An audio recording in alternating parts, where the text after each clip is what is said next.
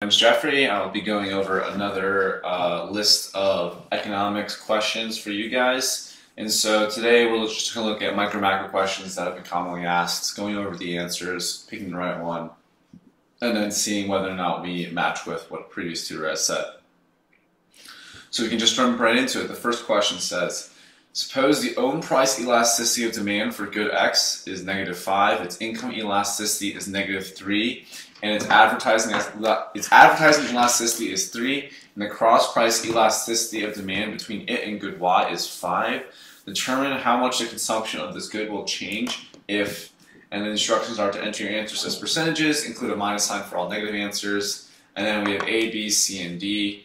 A says that the price of good X decreases by 6%. B says the price of good Y uh, increases by 7%. C says that advertising decreases by 4%. And D says income increases by 2%. So what we're really asked to do here is to understand different types of elasticity. And as long as you understand one of the uh, the general format of elasticity equations, whether it be income elasticity or elasticity of demand, as long as you understand the general idea of elasticity, we can answer any of these questions, no matter if it's something we don't really talk about, like advertising elasticity or price elasticity, um, which is which is part A. So let's take a look at what the uh, uh, first question is going to tell us. So, uh, see, my mouse is not working.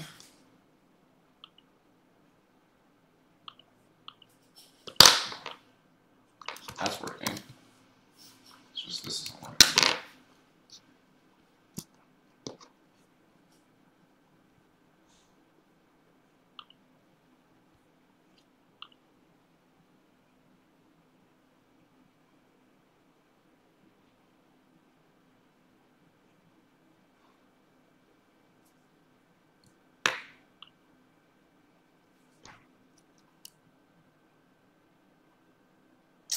One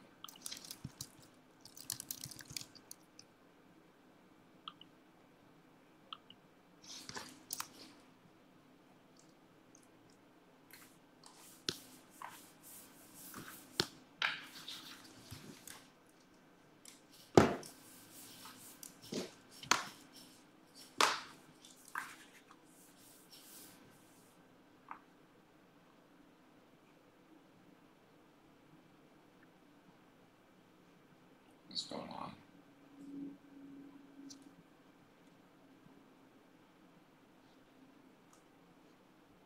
Okay, so we're just gonna not deal with that for now.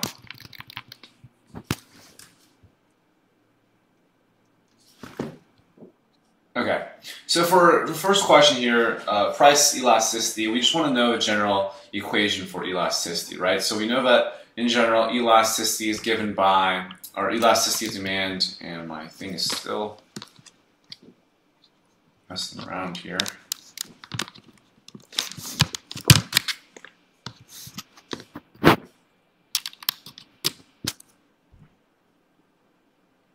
The elasticity of demand is equal to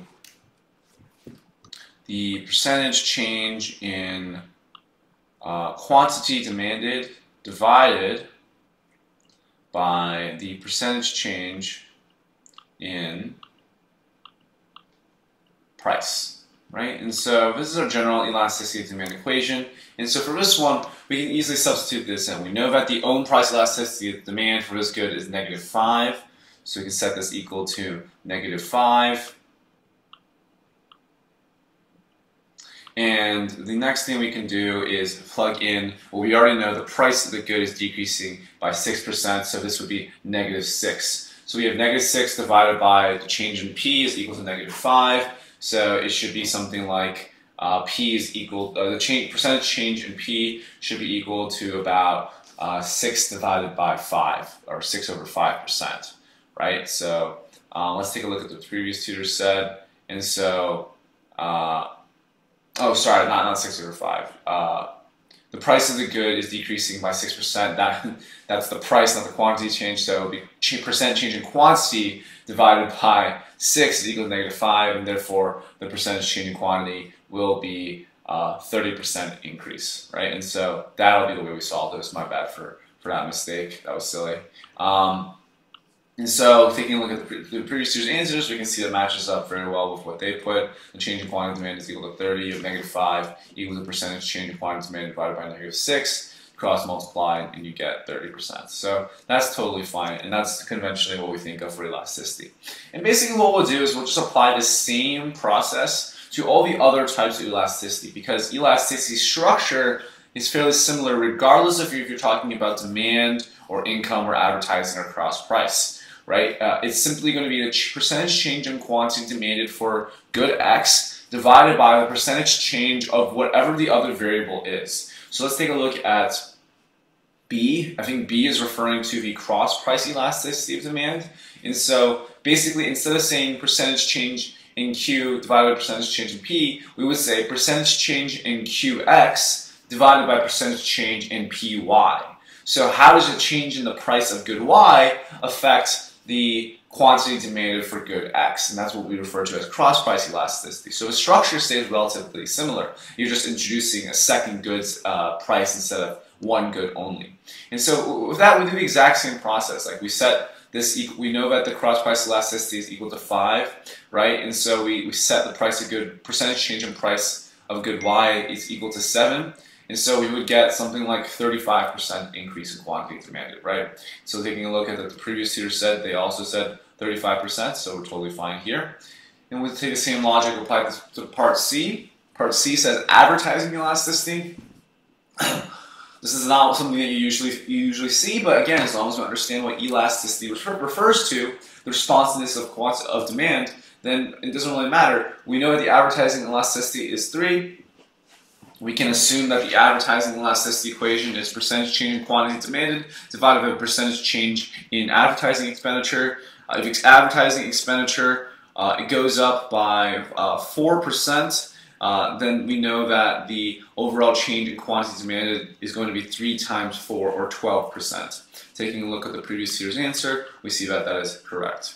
And finally, D says income increases by 2%. Income elasticity is negative 3. We know that the change in quantity demanded is going to be 6%, right? And so uh, that's going to be our, uh, negative 6%. So that's going to be our uh, answer for part D. And so for part D, we see that demand of good X will change by negative 6% if income increases by 2%. So all these uh, answers really just depend on our understanding of elasticity as a concept of uh, responsiveness of quantity demanded to a change in some other variable. And so uh, all these answers are correct, um, and we have nothing to really correct the previous two on because we matched all of their answers.